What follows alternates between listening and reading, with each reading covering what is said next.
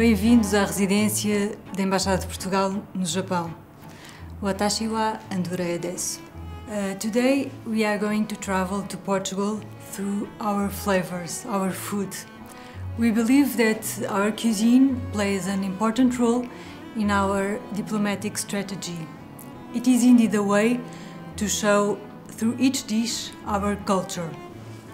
As you know, uh, Portugal and Japan has a historic relationship that also involves food.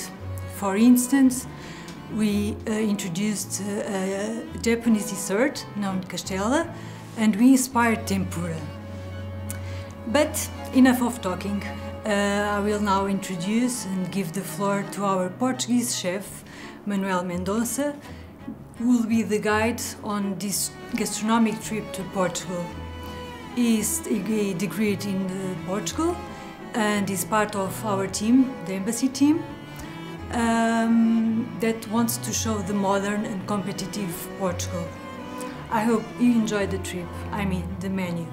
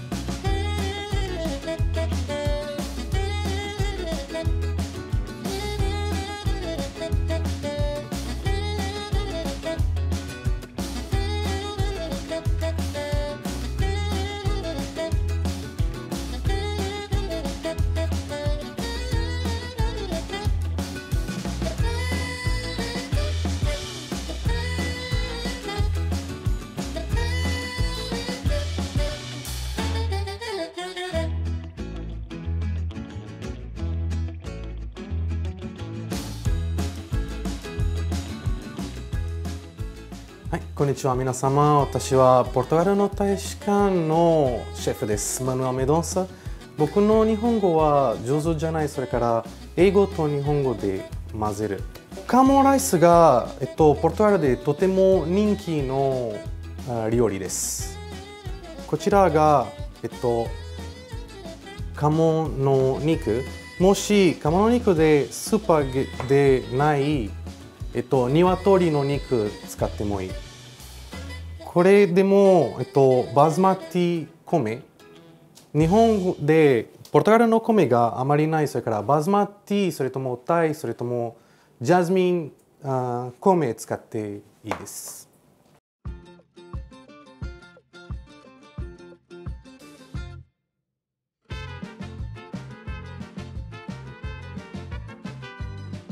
今からえっと、カモンご飯で作る。まずが、えっと、このパンでカモンで入れる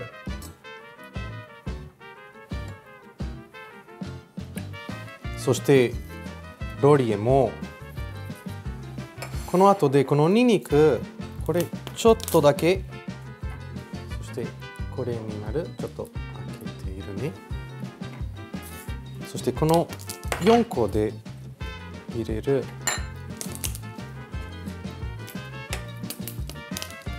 よし、はい、最後ではオイルで。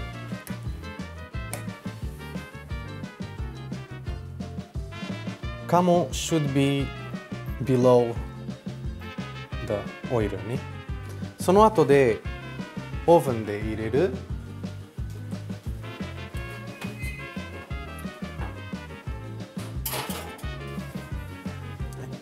We cook this duck for five hours at 135 um, degrees. So it takes a long time and it's a very low temperature so it doesn't overcook. And it's this um, cooking style, it's called confit, which makes the meat very tender and very shreddable. 皆さん家で時間がない、えっと 普通のボイルするっていいです。30分20分ぐらい？カモンがオーブンに入れるの間に米米で作る。最初がオリーブオイルそして強いの火。そしてちょっと待ってる。待ったらこの、えっと、玉ねぎとニンニクのペーストで入れる。玉ねぎとニンニクのペーストとオリーブオイルのあ作り方がルフガード。ルフガードのとポルトガルの料理がたくさんのメインディッシュがこのベースになる。玉ねぎとニンニクがちょっと緑の色になる。米に入れる。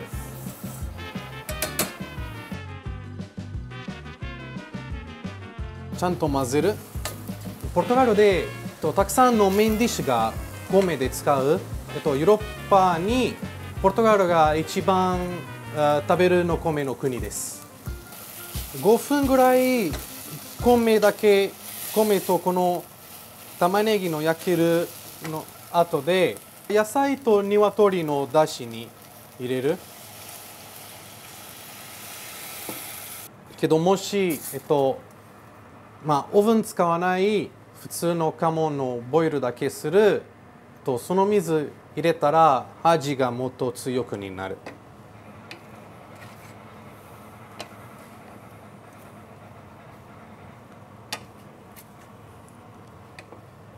そしてもうちょっと入れる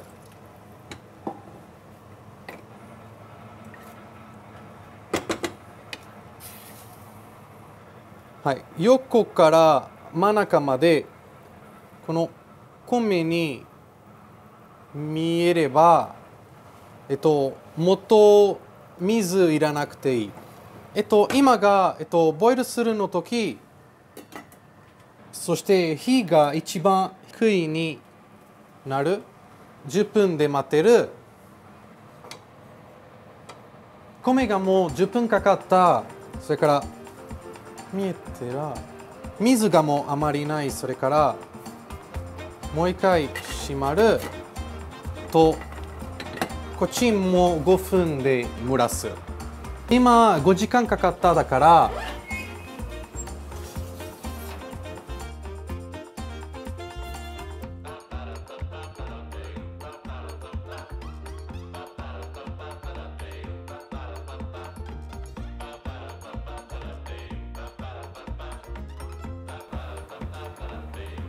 じです。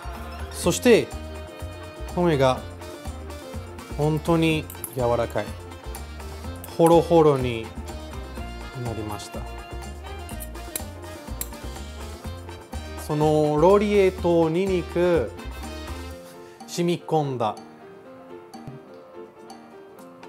この皮がたくさん油があるだから私たちが使わない。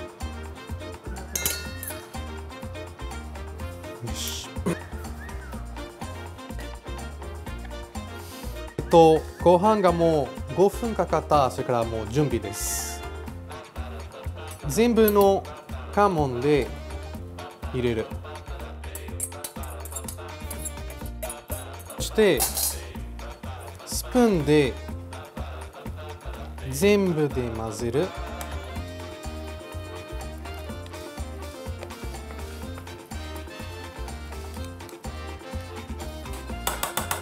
ちょっとこの油でこの油がえっと全部のロリエの味鴨の味とニンニクの味だからまあ油ですけど味がとても強い。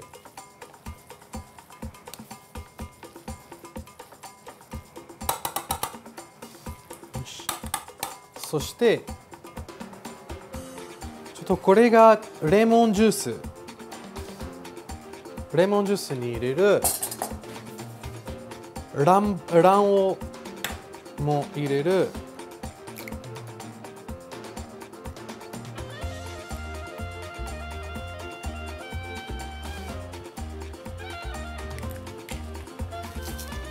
塩。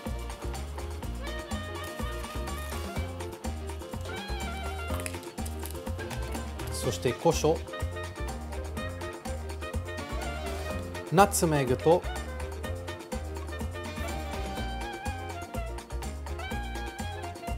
よし。そして全部で混ぜる。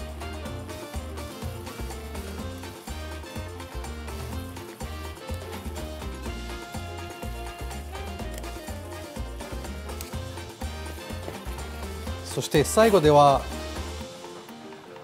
コリアンダ。ー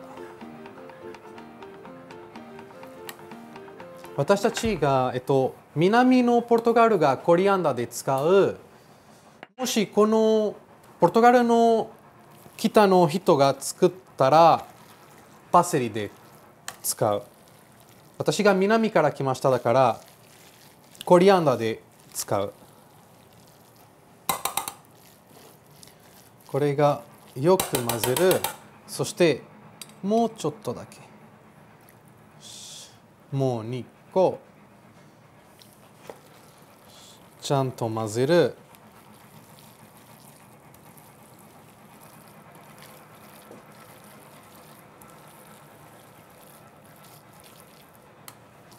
その後でトレイに入れてください。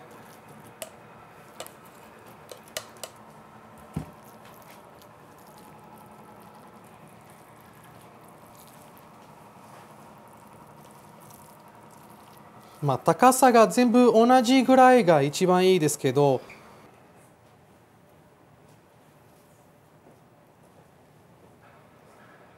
あこの後でオーブンで入れる、えっと、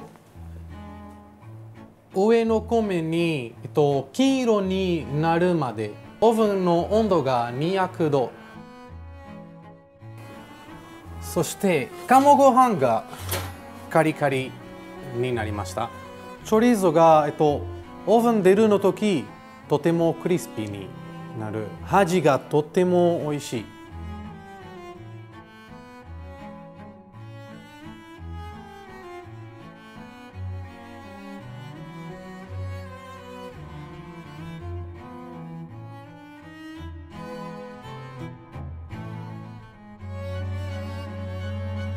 はい。皆様えっとカモのライス完成した。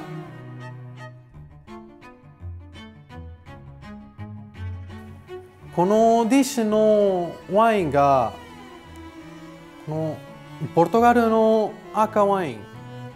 ミディアムボディの赤ワインでいいんですけどもし食べるの人が、うんヘビーボディの赤ワインそれともライトボディの赤ワイン好きどちらもいいです、はい、じゃあぜひ皆さん僕のレシピあ見て作ってみてください。